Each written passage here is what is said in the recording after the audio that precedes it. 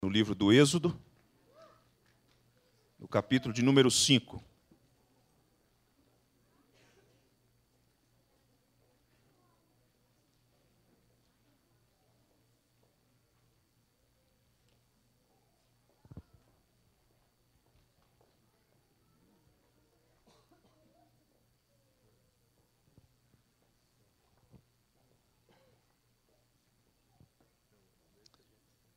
Capítulo de número 5.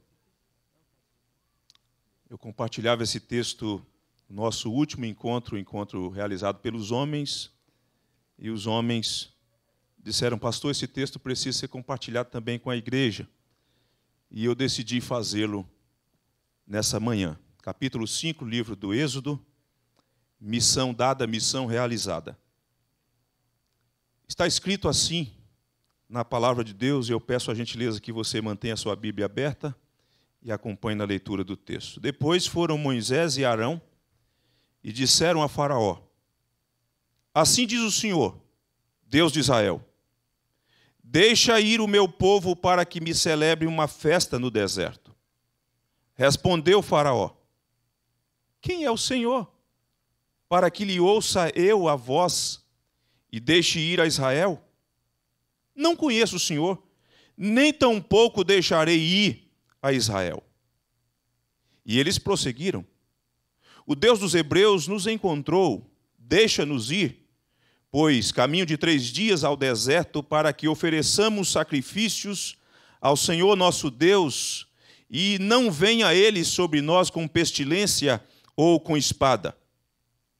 Então lhes disse o rei do Egito: por que Moisés e Arão? Por que interrompeis o povo no seu trabalho? E ide às vossas tarefas. Disse também Faraó: O povo da terra já é muito, e vós o distraís das suas tarefas. Naquele mesmo dia, pois, deu ordem Faraó aos superintendentes do povo e aos seus capatazes, dizendo: Daqui em diante, não tornareis a dar palha ao povo para fazer tijolos como antes. Eles mesmos que vão e ajuntem para si a palha. E exigireis deles a mesma conta de tijolos que antes faziam, nada diminuireis dela. Estão ociosos. Preste atenção nisso. É por isso que clamam: vamos e sacrifiquemos ao nosso Deus. Agrave-se o serviço sobre esses homens para que neles se apliquem, uh, neles se apliquem e não deem ouvidos a palavras mentirosas. Então saíram os superintendentes do povo e os seus capatazes e falaram ao povo: Assim diz Faraó: Não vos darei palha.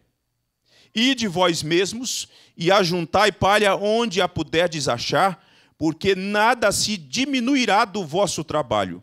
Então o povo se espalhou por toda a terra do Egito a juntar restolho em lugar de palha. Os superintendentes os apertavam, dizendo: Acabai vossa obra, a tarefa do dia, como quando havia palha. E foram açoitados os capatazes dos filhos de Israel, que os superintendentes de Faraó tinham postos sobre eles, e os superintendentes lhes diziam: Por que não acabastes ah, nem ontem, nem hoje, a vossa tarefa de ah, fazendo tijolos como antes? Então foram os capatazes dos filhos de Israel e clamaram a Faraó, dizendo: Por que tratas assim a teus servos? Palha não se dá a teus servos, e nos dizem: Fazei tijolos. Eis que teus servos são açoitados, porém o teu próprio povo é que tem a culpa. Mas ele respondeu: Estais ociosos, estais ociosos, por isso dizeis: Vamos, sacrifiquemos ao Senhor. E depois agora e trabalhai, palha, porém, não se vos dará, contudo dareis a mesma quantidade de tijolos então os capatazes dos filhos de Israel se viram em aperto, porquanto se lhes dizia: nada diminuireis dos vossos tijolos, da vossa tarefa diária. Quando saíram da presença de Faraó, encontraram Moisés e Arão, que estavam à espera deles, e lhes disseram: Olhe o Senhor para vós outros e vos julgue, porquanto vos nos fizestes odiosos aos olhos de Faraó e diante dos seus servos, dando-lhes a espada na mão para nos matar. Então Moisés, tornando-se ao Senhor, disse: Ó oh, Senhor, por que afligiste este povo? Por que me enviaste? Pois desde que me apresentei a Faraó para falar-lhe em teu nome, ele tem maltratado este povo e tu de nenhuma sorte, de nenhuma sorte livraste o teu povo. Disse o Senhor a Moisés: Agora verás o que hei de fazer a Faraó. Pois por mão poderosa os deixará ir, e por mão poderosa os lançará para fora da terra. Amém. Amém. Missão dada, missão realizada.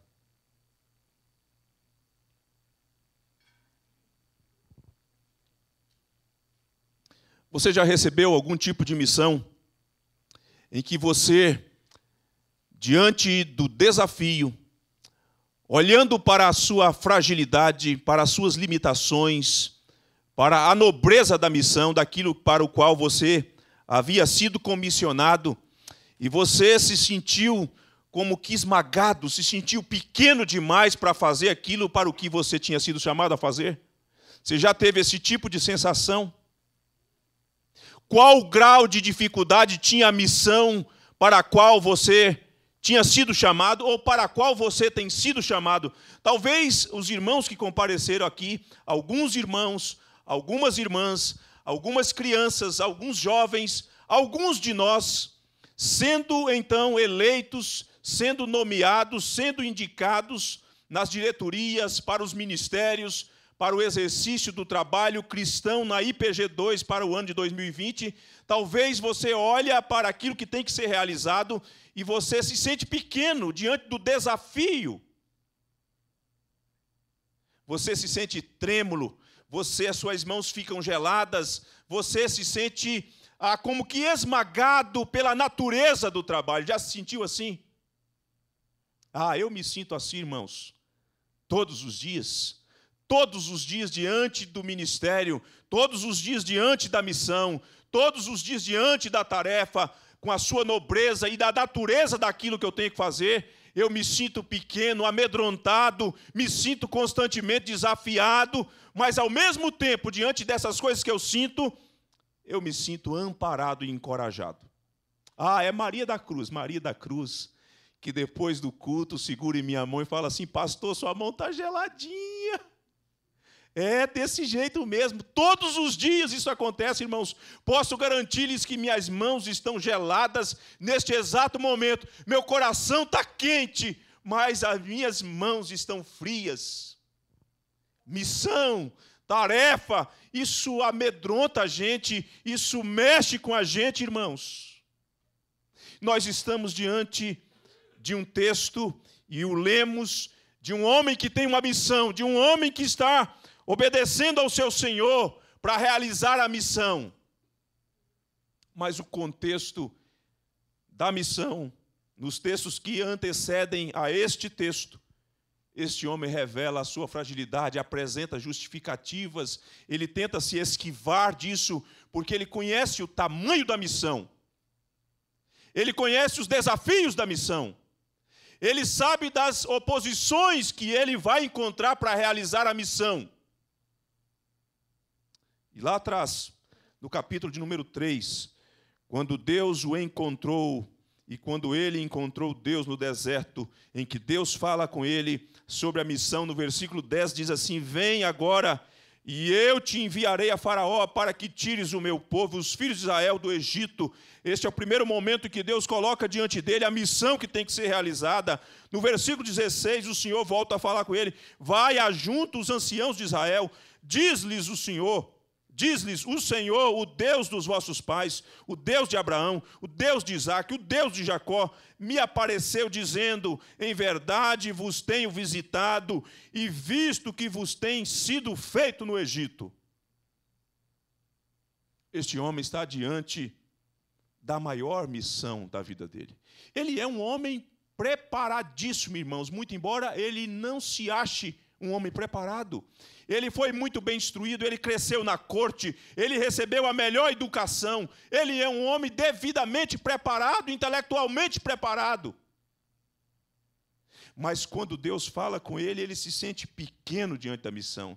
Ele conhece o lugar para o qual ele tem que se dirigir, ele conhece as pessoas, ele conhece a estrutura, ele sabe como é a funcionalidade das coisas e a que envolve e que está envolvida as autoridades no Egito e especialmente o faraó. Mas diante daquilo que o amedronta, ele tem medo sobretudo se o povo de Deus Será que o teu povo vai crer em mim? Será que as, os questionamentos que hão de surgir, como que eu vou proceder? Ele pergunta essas coisas para Deus. O capítulo 4 ele fala assim: respondeu Moisés, mas eis que não crerão. Ele acha, ele diz assim: o povo não vai crer em mim. Como é que eu vou chegar lá no Egito contar uma história dessa? Que eu vi uma sarça pegando fogo no deserto, que não se consumia, que o Deus de Abraão falou comigo, sério, o povo não vai crer em mim. E, na verdade, ele então apresenta justificativa, ele diz que é pesado de boca, que ele é pesado de língua, que ele não é o homem ideal para Deus. E ele chega a dizer, no versículo 13: ele, porém, respondeu: Ah, Senhor, envia aquele que has de enviar, menos a mim, envia outro. Quantas vezes, irmãos, nós nos encontramos diante da missão e nós, além de apresentarmos as nossas justificativas, além do nosso desejo de sair pela tangente, de fugir da responsabilidade, se não verbalizamos, pensamos bem que, bem que Deus podia levantar outro, manda outro. Eu não, tem tantas pessoas boas aí, tem tantas pessoas instruídas, tem tantas pessoas capazes, menos eu. É assim que Moisés se sente. No início do chamado. Ele sabe, irmãos, ele sabe que a missão não será fácil e Deus não disse que seria fácil. Mas depois de toda essa conversa, depois de ser devidamente dissuadido por Deus, ele obedece a Deus porque ele confia na promessa de Deus, porque Deus diz que vai assisti-lo, que ele vai ser a boca de Deus, e Deus chama também o seu irmão para ser o seu companheiro nessa missão. Para que possa então realizar essa missão. A descrição desses detalhes, irmãos, dessas informações, elas preparam como que o solo daquilo que a mão poderosa de Deus vai fazer para redimir o seu povo. É como que um cenário preparatório para mostrar que o resultado daquilo que vai fazer diante daquela missão grandiosa, quem vai agir por meio de Moisés, quem vai agir por meio de Arão, é o Senhor. Quando você se sente pequeno e você precisa se sentir pequeno, você precisa ter assentado no seu coração, ainda que suas mãos fiquem geladas, Deus vai fazer por meio de mim. Eu não sou capaz mesmo de fazer. Olhando para a minha estrutura e para as minhas limitações, eu não tenho condição de fazer, mas Deus fará por meio de mim, e por isso eu irei. É diante disso, então, diante do grande desafio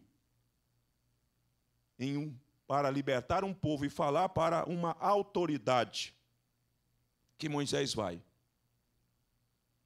Para que o povo seja retirado da escravidão, para que o povo seja liberto da tirania de Faraó. Nesse texto eu quero dividi-lo em três partes. Eu quero falar o contato com Faraó do versículo de número 1 ao versículo 5, eu quero falar do resultado desse contato, qual o resultado desse contato, e eu quero falar das interpretações desses eventos. A interpretação de Faraó, como é que ele vê. Eu quero falar da interpretação ah, do povo, como é que o povo vê aqueles acontecimentos. Eu quero falar como é que Moisés interpreta aquela situação. E por fim eu quero falar como que Deus vê a situação, como é que Deus analisa o cenário, como é que Deus traz uma palavra para o povo. Vamos então à primeira parte, o contato com Faraó. Está lá Moisés e Arão diante de Faraó por obediência a Deus. E ele tem uma mensagem, uma mensagem a ser dada. Ele tem uma mensagem a ser dada. E eles não titubearam, eles chegaram para Faraó e disseram a Faraó: Assim diz o Senhor, Deus de Israel, deixa aí o meu povo. E é interessante esse detalhe, como Deus se dirige a Faraó por meio destes homens, dizendo que o povo que ele está se, se, utilizando e se valendo da mão de obra escrava daquele povo, Deus vai dizer para Faraó: Esse povo é meu. Esse povo que você tem agido, esse povo que você tem massacrado, este povo que você tem humilhado, este povo tem um dono. Este povo é propriedade particular minha, pertence a mim, Faraó. Embora você não saiba e embora você não pense ou nunca tenha pensado sobre isso, embora esse povo esteja residindo aqui por mais de quatro séculos, este povo é meu. E chegou a hora que eu quero que este povo saia deste lugar. Eu quero que você deixe ir este povo, porque eu quero que me encontrar com este povo no deserto e quero que este povo me adore no deserto, faça uma grande festa no deserto.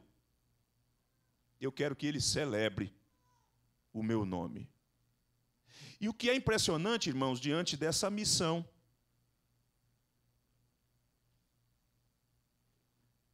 é que a mensagem que Deus dá ao mensageiro, o mensageiro tendo a compreensão de que essa mensagem precisa ser transmitida, ele não se furta, ele não se acorvarda, mesmo diante de uma autoridade que tem status, que tem poder.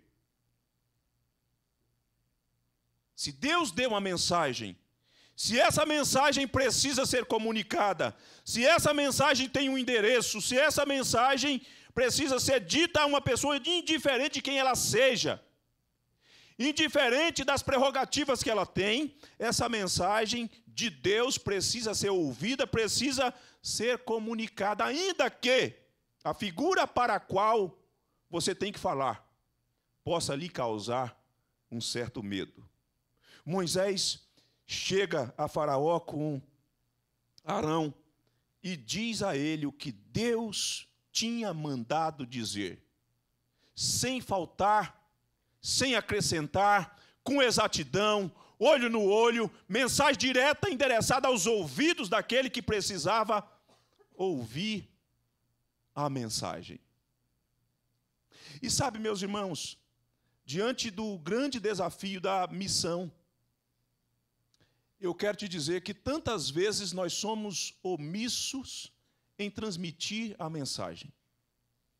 Nós olhamos para as pessoas, nós olhamos para aquilo que elas têm, nós olhamos para a condição da qual elas estão envolvidas, se é condição intelectual, se é condição econômica, e às vezes, olhando para elas e olhando para nós mesmos, nos esquecemos de que a mensagem que Deus nos deu é o poder de Deus para a salvação. E não queremos trazer desconforto às pessoas. E não queremos dizer às pessoas o que elas precisam ouvir da parte de Deus. Eu não me esqueço de uma leitura de um livro de uma pessoa que pertencia à nossa igreja, que foi muito influente, influente nessa igreja, a igreja presbiteriana no Brasil, em tempos áureos em que ele dizia o seguinte: que houve um encontro na cidade de São Paulo com o político importante da cidade de São Paulo, não convém aqui mencionar o nome, mas naquela época era o governo de São Paulo. E então os presbiterianos estavam liderando esse encontro, e era um encontro com o propósito de falar do evangelho para aquela figura. E teve um jantar, um jantar chique, para que aquela figura pudesse estar ali e pudesse então ouvir a mensagem. E segundo esse escritor, então, na hora de se dirigir à autoridade, os presbiterianos fizeram uma oração, e ele narra o trechinho da oração, que é mais ou menos assim: Tu, supremo arquiteto do universo, uma oração quase que parecida com a maçonaria, com o discurso maçônico. E ficou só nisso. Nada foi dito para a pessoa que, que deveria ser dita. E então, segundo ele, um assembleano assumiu a palavra e falou aqui, ah, e falou assim: o que temos a dizer ao Senhor aqui? O Senhor não fez mais do que a obrigação do Senhor, o Senhor foi eleito para isso, e se dirigiu com autoridade e pregou o evangelho para aquela figura política. Mas nós, e aqui não estou entrando na questão se são os presbiterianos, se naquele momento houve o acovardamento, mas nós, irmãos, individualmente às vezes como corpo, nos acovardamos, não dizemos às autoridades o que precisa ser dito às autoridades. No início da minha conversão, quando o Senhor Jesus me alcançou, eu fui trabalhar no escritório de advocacia por 15 dias, era para dar cobrir as férias de uma pessoa lá. E eu tinha vindo da roça, desempregado, aceitei aquela tarefa e fui. Novo convertido, e comecei a ouvir a conversa do advogado, um homem muito bem requisitado, influente. E no início da minha carreira da minha jornada de fé com Cristo, e ele falando das suas convicções religiosas, dos sacrifícios que ele teria que oferecer na sexta-feira, teria que ir para uma cachoeira, levar frangos, imolar os frangos e fazer essas coisas, e eu ouvindo aquilo ali, e eu fui ficando pequeno, me sentindo pequeno e tentando recuar diante daquela situação. E quando faltava três dias para sair, Deus me inquietou. Não vai dizer nada, não? E eu fui tentando me esconder e desejando que aqueles três dias acabassem rapidamente. E eu fui tentando me esquivar da minha tarefa, e depois eu entendi que estar ali 15 dias não era nem pelo dinheiro, é para dizer àquele homem o que ele precisava ouvir. E finalmente, no último dia, eu botei a minha boca no pó, me humilhei e falei: Deus, eu não tenho condição. Olha pra, para o meu preparo, Senhor. Eu sou um capial, eu não estudei. Como dizer para este homem instruído, para este homem intelectual, para este homem que tem instrução, para este homem influente, o que eu vou dizer a ele? E Deus me encorajou, eu desci pequeno e levantei revestido, e levantei assistido pela ousadia de Deus, e me dirigi a Ele, doutor, eu queria que o senhor me ouvisse por um instante. E ele chamou a esposa, chamou os seus colegas que trabalhavam no seu escritório, e eu, como capial, abri a Bíblia e li as Escrituras e disse-lhe que todos aqueles que não se curvassem diante de Cristo, que todos aqueles que assumiam essa postura de hostilidade a Cristo, que negavam o Senhor Jesus, que tinham uma religião pagã, que não condizia com a palavra de Deus, haveriam de se curvar diante de Deus um dia e teriam que prestar contas a Deus. Terminei, fechei a Bíblia e falei tchau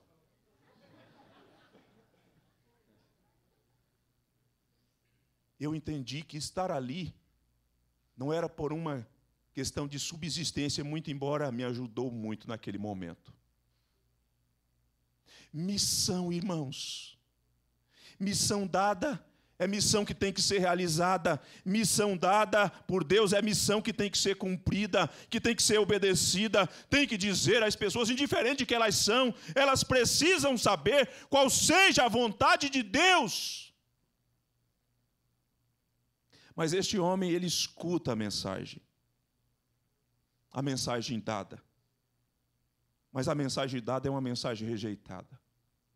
Diz o texto que ele escuta e ele é irônico. Ele escuta a mensagem, ele responde aos mensageiros de Deus, ele diz: Quem é o Senhor para que lhe eu ouça a voz e deixe ir Israel, não conheço o Senhor, nem tampouco deixarei ir ao Senhor. Irmãos, ele é um homem poderoso, ele é um homem aclamado como uma divindade no Egito. Ele tem os seus próprios deuses, e além de ter os seus próprios deuses, além de ser o homem mais importante, ele se considera Deus. Que negócio é esse de trazer essa mensagem, de dizer que o povo é de Deus? Eu não conheço Deus não sei quem, quem, ele, quem ele é. E uma vez que eu não conheço, eu não atenderei, eu não vou obedecer-lhe o seu pedido, a sua voz, a sua ordem, não deixarei ir o povo. Não vai mesmo. Esse tipo de reação não é incomum. Esse tipo de reação nós vamos encontrar, e talvez seja por conta desse tipo de situação que nós temos a consciência de que elas são possíveis, que nós às vezes recuamos que nós não queremos ouvir essa postura irônica, desdenhosa, que olha para a verdade de Deus e nega a verdade de Deus e não quer compromisso e nem atender à voz de Deus. Ele chega a dizer que esse negócio de Moisés e Arão está ali falando da parte de Deus é algo que está atrapalhando seus negócios está interrompendo o povo da execução do trabalho, está se metendo numa área que eles não deveriam se meter, as tarefas do povo estavam sendo interrompidas e ele não se agrada disso, ele não está, está, está satisfeito, satisfeito com isso, e chega a dizer que essa atitude de Moisés de Arão está distraindo o povo das tarefas. E ele rejeita a palavra de Deus, ele insulta ao Senhor E é por isso mesmo, irmãos, que este homem, na sua dureza, aliás, Deus já tinha dito para Moisés que ele, com o seu coração endurecido, ele não ia acolher. Deus dá a mensagem para os mensageiros, mas antecipadamente diz como que será ah, o modo de recepcionar essa mensagem, de lidar e relacionar-se com essa mensagem. Mas é dentro desse próprio contexto, ou dentro do contexto anterior, que Deus já diz o seguinte: olha, eu vou manifestar as minhas maravilhas no Egito, eu vou manifestar sobre este lugar, eu vou usar pragas como instrumentos, eu vou abater este homem que não me reconhece, eu vou destronar as suas divindades, eu vou levá-las ao chão, eu vou derrotá-los para que eles reconheçam que só há um Deus.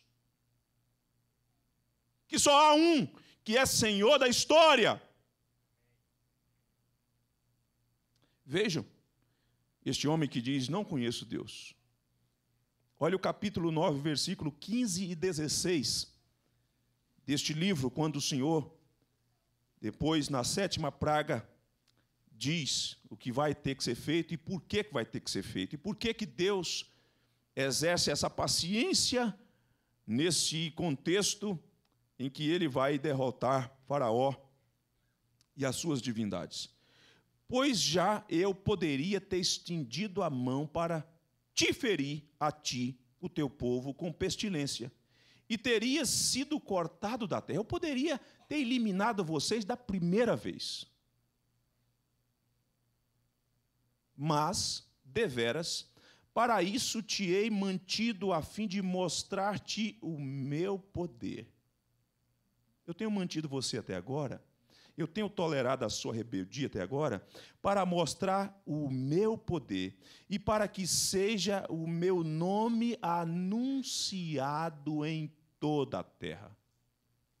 Eu quero que o meu nome seja exaltado diante de você. Eu quero que você, que negou o meu nome, que tratou de modo frio, desdenhoso da minha palavra, eu quero mostrar para você, mas não só para você. O acontecimento que eu estou realizando no Egito vai fazer com que toda a terra saiba que eu sou Deus. Mais tarde, ah, o texto vai dizer que Moisés recebe uma instrução ah, de Deus para dizer o seguinte: que as crianças haveriam de ouvir as narrativas desses eventos e elas conheceriam a Deus a partir daquilo que os seus pais haveriam de narrar, irmãos. Ô irmãos, nós temos uma missão nobre de contar para os nossos filhos os feitos de Deus na história. Quando nós não fazemos assim, quando nós não procedemos assim, a principal missão que Deus deu para nós como progenitores, nós falhamos tragicamente. Você e eu, nós podemos conquistar tudo nessa terra. Nós podemos ser bem-sucedidos, nós podemos fazer aquisições, se nós falharmos no contar a história da redenção para os nossos filhos, nós falhamos. Porque Deus queria que o pagão ouvisse, compreendesse que Ele é Deus, toda a terra deveria saber que Deus é o Senhor, mas os filhos também da aliança deveriam igualmente receber a informação de que só o Senhor é Deus, só o Senhor é Deus, só o Senhor é Deus. Os filhos haveriam de crer à medida que os pais contassem a história. Deus nos ajude, irmãos, a contarmos a história para os nossos filhos.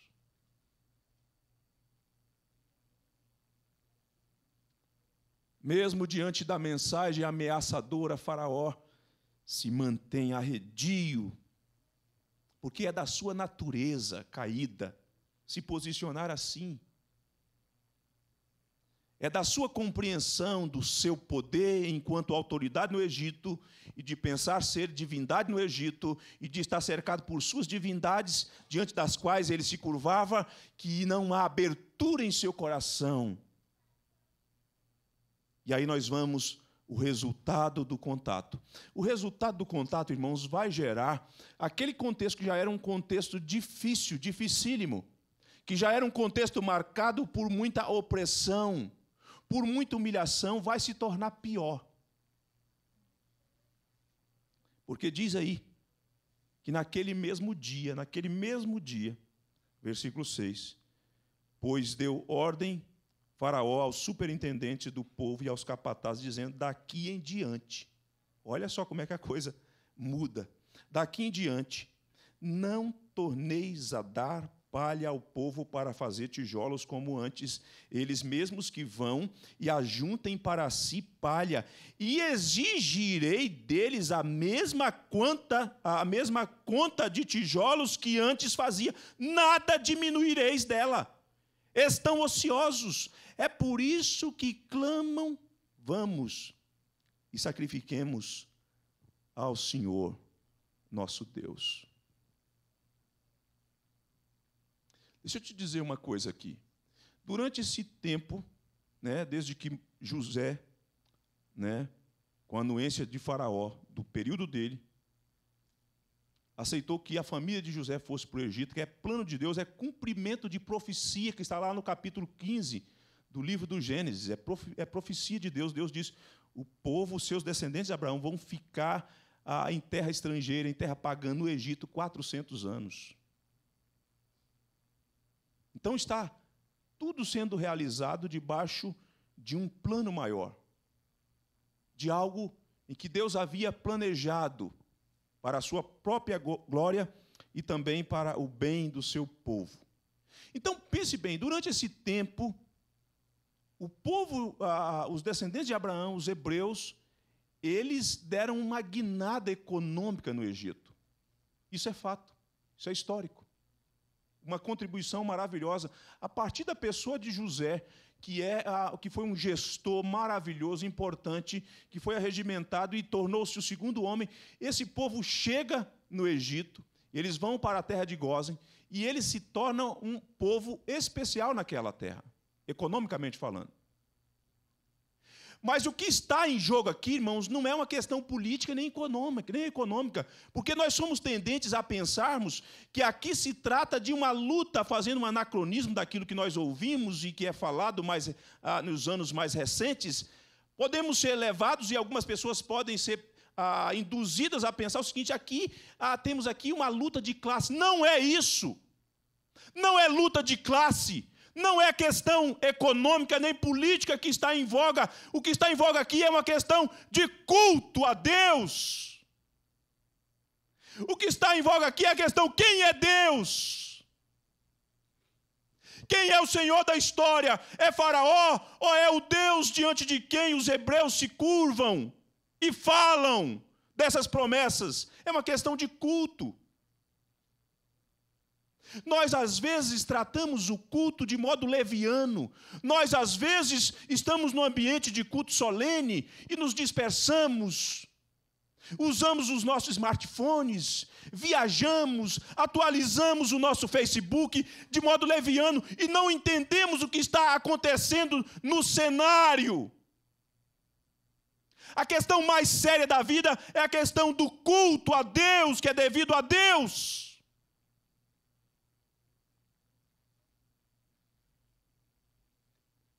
Faraó, ele sabe e ele não está aberto para isso, e ele não tem disposição para isso.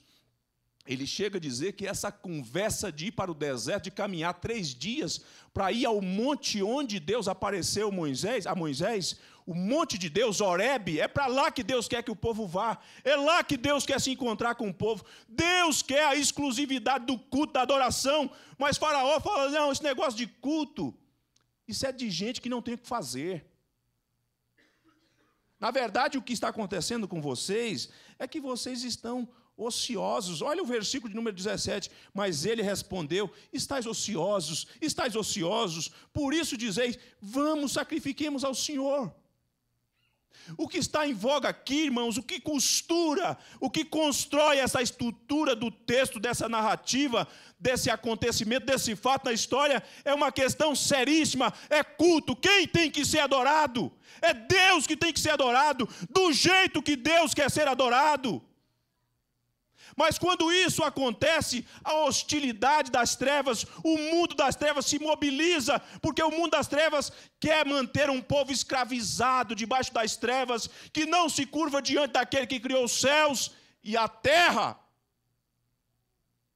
As hostes do inferno se mobilizam para que o povo não seja liberto, para que o povo não vá a um lugar para celebrar o nome de Deus.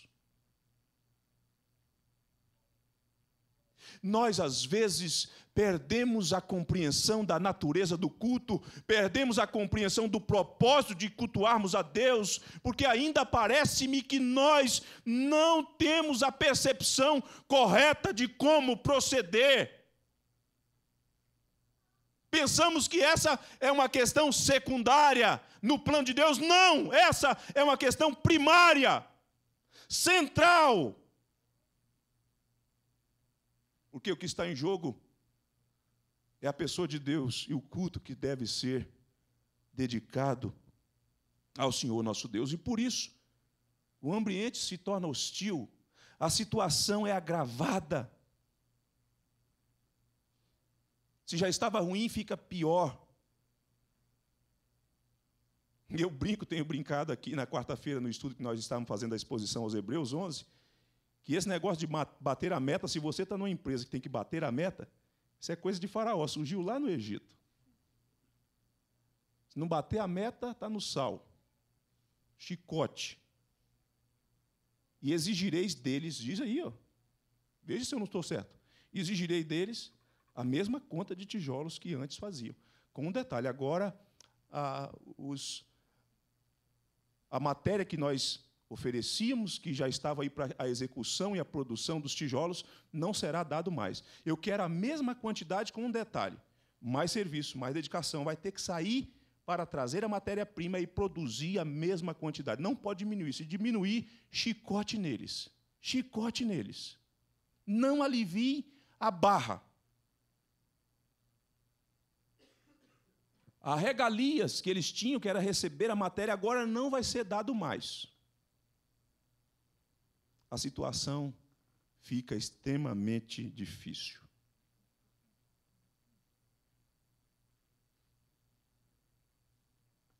E a gente vai dizendo algumas frases e os meninos vão copiando, né? E vai marcando, né?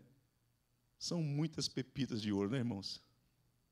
Não dá para extrair numa cavada só, né?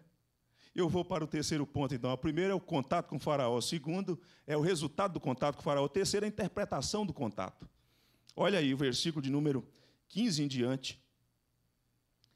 E de modo mais particular, o versículo 19 diz assim: Então os capatazes dos filhos de Israel, versículo 19, se viram em aperto porquanto se lhes dizia. Os capatazes aqui eles são pertencentes aos hebreus e eles estão assim é, bastante tristes diante do quadro da situação em que eles tinham que exercer essa função e eles, à medida que vê aquilo, a coisa também fica difícil para eles e eles estão abatidos diante dessa situação. Nada diminuireis, versículo 19, dos vossos tijolos, da vossa tarefa diária. Quando saíram da presença de Faraó, encontraram Moisés e Arão, que estavam à espera deles, e lhes disseram: Olhe o Senhor para vós outros e vos julgue por quanto vos fizestes odiosos aos olhos de Faraó e diante dos seus servos, dando-lhes a espada na mão para nos matar. Olha o que vocês fizeram. Então Moisés, tornando-se ao Senhor, disse: Ó oh, Senhor, por que afligiste este povo? Por que me enviaste? Pois desde que me apresentei a Faraó para falar-lhe em teu nome, ele tem maltratado este povo, e tu, preste atenção no teor da palavra, das palavras, e tu de nenhuma sorte livraste o teu povo, disse o Senhor a Moisés: Agora verás o que hei de fazer a Faraó, pois por mão poderosa os deixará ir por mão poderosa os lançará da sua terra. Como que interpreta a situação que está acontecendo? Faraó interpreta o seguinte: olha, esse negócio de culto, a interpretação de Faraó, é coisa de quem não tem o que fazer. Gente desocupada é que fica esse negócio: vamos adorar a Deus, vamos lá para o deserto, vamos sacrificar a Deus, vamos fazer uma grande festa. Gente que não tem o que fazer, que não tem ocupação de serviço, é que fica esse negócio. Faraó interpreta assim: o povo, a situação aperta, o povo interpreta a situação como sendo um problema que foi agravado numa situação em que poderia ter mantido a eles, os descendentes de Abraão, do jeito que estava. Seria melhor, esse povo que está clamando a Deus num determinado momento pelo livramento, agora, diante da situação, ele começa a pensar o seguinte: bem que seria melhor ser mantido e ficarmos como nós estávamos porque agora nós temos um problemão. E você sabe quem é o problema disso? O problema disso são esses dois que vieram para cá se meter nessa questão. Esse camarada aí que cresceu no palácio, depois fugiu, deixou a gente aqui, foi ah, lá para o deserto, agora volta depois de 40 anos e vem com essa conversa que Deus está querendo tirar a gente daqui. E olha o que está acontecendo com a gente. A culpa é de Moisés e de Arão que Deus julgue-os, que eles sejam julgados, porque eles fizeram com que nós nos tornássemos odiosos aos olhos de Faraó. E isso, irmãos, isso acontece nesse contexto porque ah, esse, esse aspecto do imediatismo, da coisa que nós desejamos que aconteça rapidamente, também aquele povo desejaria ou desejou que as coisas acontecessem rapidamente, só que Deus tem um propósito. Entenda uma coisa aqui, olha só uma coisa. Deus precisa mostrar o seu poder a Faraó. Deus precisa vencer as divindades do Egito, mostrar que só há o Deus eterno, Criador dos céus e da terra, diante de quem os homens devem adorar. Mas um povo que está ali, que carrega a promessa de Deus, esse povo não sabe como Deus quer ser adorado. Então, até esse processo demorado, até esse processo difícil que acabou impingindo sobre o povo sofrimento e dor, também faz parte do processo de Deus para que os olhos sejam descortinados e o povo compreenda como adorar a Deus, que Deus não pode ser adorado de qualquer jeito. Deus trabalha nessas duas frentes. Deus se revela a Faraó como ele é, exclusivo e eterno, e Deus se revela ao seu povo também. O povo precisa passar por essa escola para comparecer diante de Deus, para adorar. Os olhos, a visão do povo, o conhecimento do povo de quem é Deus, vai sendo ampliada à medida que Deus vai fazendo essas coisas que não são nada confortável. Mas o povo deseja, ou desejou que as coisas acontecessem rapidamente. E o povo então diz: a culpa é de Moisés. Olha só que situação a nossa. Como é que Moisés interpreta a situação? Nós vimos Faraó. Faraó interpreta que essa situação de culto, de adorar a Deus, é coisa de gente desocupada, gente ociosa. O povo interpreta que esse é um agravamento e que, dentro desse contexto, seria melhor ter mantido as coisas como elas estavam. Irmãos, preste atenção aqui.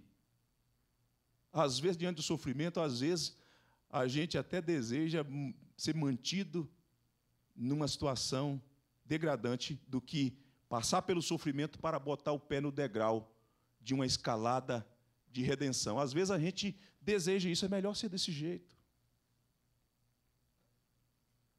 Às vezes a situação está ruim no determinado contexto e você sabe que tem que encarar aquele sofrimento, que não é melhor estar ali, que se as coisas não forem mudadas, não vale a pena estar ali, mas você, diante daquilo que vai se delineando, que vai trazendo dor, que vai trazendo aflição, você começa a pensar: é melhor ficar desse jeito. Não é melhor. Não é melhor faz parte do processo de Deus para alcançarmos patamares melhores e mais sublimes, encararmos determinado tipo de situação.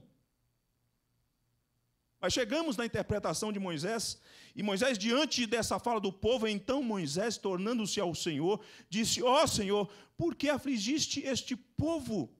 Por que me enviaste? O Senhor me enviou para quê? Para agora assistir de camarim o sofrimento do povo? Eu já tinha conhecimento do sofrimento do povo, e o Senhor me traz de volta para isso. Moisés se queixa, muito embora ele assuma o papel aqui de intercessor, mas você vai perceber que há uma certa frustração no coração de Moisés, pois desde que me apresentei a Faraó, desde o início, para lhe falar em teu nome, ele tem maltratado este povo, e tu, Senhor, de nenhuma sorte livraste o povo, o Senhor ficou de braços cruzados, o Senhor falou comigo que a missão era tirar o povo, era falar a Faraó para o povo ir para o deserto, e agora olha a situação. O Senhor não se importa? Irmãos, e isso não acontece conosco, às vezes, diante de determinadas situações, a gente fala assim, parece que Deus esqueceu de mim. A gente às vezes não verbaliza, mas a gente se sente exatamente assim. Lá no coração há uma voz dizendo: Deus se esqueceu, Deus não me ama, Deus não olha para mim, olha a minha sorte, olha a minha família, olha o meu casamento, que porcaria! Olha a minha situação. A gente tem esse tipo de coisa que assalta o coração e nós nos queixamos e quase até mesmo blasfemamos contra Deus. Porque não conseguimos ver mais adiante, de modo mais ampliado, porque nos esquecemos, inclusive, do que Deus falou, do que Ele iria fazer, nos esquecemos da promessa, e Deus então vem para falar como que eu vejo a situação. Agora verás o que hei de fazer, Moisés. Eu não estou dormindo, não estou com os braços cruzados. Irmãos, o fato de você não ver Deus, Deus não está inativo. O fato de você não ver a face de Deus, o fato de você não ver as mãos de Deus de modo visível, não significa que Deus está inativo. Deus não está, Deus está agindo, Deus está atuando, Deus tem o seu momento para concretizar os seus planos. Agora verás o que hei de fazer, Moisés. Eu não cochilei, não. Eu não cochilei. Vou agir com mão poderosa. E Faraó deixará o meu povo sair. Por mão poderosa, ele os lançará fora. Ele vai libertar o povo. Esse é o propósito. Esta é minha agenda. Este é o meu projeto para o meu povo e eu vou agir para tirar o povo daí. Deus não se esqueceu de nós, Deus jamais se esquece dos seus filhos. Por mais difícil que seja a situação, por mais amedrontadora que seja, por mais embaraçosa que pareça, por mais difícil que você olhando assim parece que não há luz, Deus não esqueceu, Deus está agindo. Deus fará tudo quanto lhe apraz, irmãos. Eu termino destacando algumas coisas aqui, algumas aplicações. Primeiro, Deus quer ser adorado pelo seu povo. Irmãos, Deus quer ser adorado pelo seu povo. Irmãos, Deus quer ser adorado pelo seu povo. Irmãos, Deus quer que o seu povo compareça diante dele para celebrar o seu nome. Irmãos, Deus quer que o seu povo tenha um tempo exclusivo para ele. Irmãos, nós servimos a Deus na nossa vocação, em tudo quanto nós realizamos lá fora, na nossa casa, devemos fazê-lo tudo para a glória de Deus, mas Deus quer uma exclusividade a sós com Ele. Deus quer que nós nos acheguemos a Ele para adorar. Deus quer ser adorado, irmãos. O Senhor quer ser reconhecido pelo seu povo como o único Deus da história, o único Deus redentor, o único Deus diante de quem o povo deve se dobrar e se curvar e bendizê-lo com toda a alma e com todo vigor. Deus quer ser adorado, adoremos a Deus. Segundo, o povo precisa entender que por meio da libertação, por meio da reivindicação de Deus, o povo também vai ser testado. As situações em que Deus reivindica de nós exclusividade, e isso não significa que nós teremos um caminho que não terá, que não será marcado por dificuldades. Nós vamos ser testados para que nós conheçamos a Deus melhor. Um homem uma mulher, um cristão que enfrenta situações difíceis na vida, no âmbito daquilo que Deus fez enquanto redenção, no âmbito daquilo que Deus está fazendo enquanto santificação, ao chegar mais adiante, terá um conhecimento mais apurado de Deus, terá um conhecimento mais ampliado de Deus. Foi assim, está sendo assim e vai ser assim até a volta de Jesus. Sabe por quê, irmãos? A cultura na qual nós estamos, o convívio que desenvolvemos com pessoas, numa cultura hostil e caída, às vezes nos impede de ver Deus como Ele é e como Ele quer ser adorado. A primeira tempestade enfrentada pelos discípulos, em que Jesus está dormindo no barco, em que eles pensam que vão perecer, em que eles falam com o Senhor Jesus: O Senhor não te importa, o Senhor não te importa que nós pereçamos, o Senhor não está nem aí para a nossa situação. Quando Jesus acorda, Jesus acalma a tempestade e eles então fazem uma pergunta: Quem é este que até o mar e o vento lhe obedecem? Eles fazem uma pergunta. Na segunda tempestade, eles estão sozinhos no barco, eles são impelidos pelo Senhor Jesus a ir para o barco a tempestade vem, de madrugada o Senhor Jesus vem, eles estão em apuros, eles pensam que vão morrer. O Senhor Jesus caminha sobre as águas, eles pensam, é um fantasma, é um fantasma. Jesus diz: Não, sou eu, não tem mais, sou eu. Jesus efetua um milagre. E agora eles não perguntam quem é o Senhor Jesus, eles falam: Tu és o Filho de Deus. Sofrimento não vem para matar o crente, sofrimento vem para apurar a visão do crente, para fazer o crente ver o Senhor como Ele é. Tu és o Filho de Deus.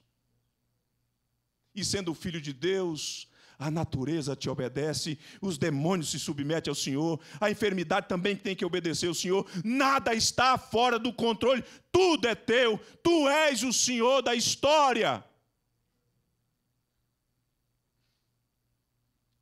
Ah, irmãos, embora nas palavras de Moisés, nas suas perguntas, revelam essa situação, Entretanto, Moisés é um intercessor do povo, o povo não consegue se achegar a Deus.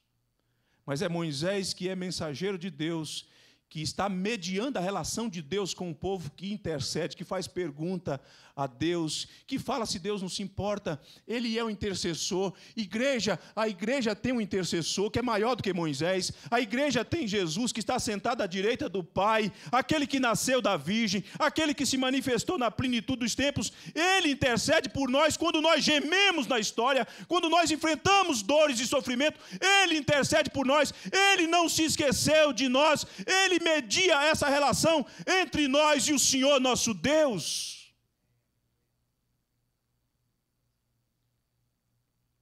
Em quarto lugar, Moisés nasceu em dias sombrios e hostis, quando o Estado tinha criado uma lei para exterminar as crianças. Os pais de Moisés botaram os olhos nele e entenderam que ele haveria de ser o libertador.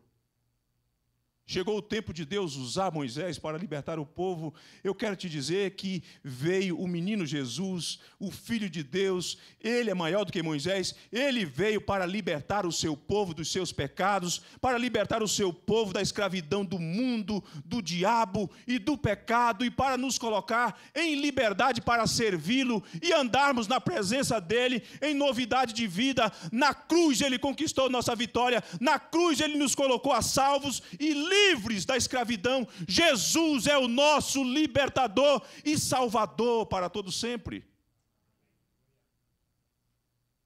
Moisés cumpriu o seu papel como Deus havia planejado.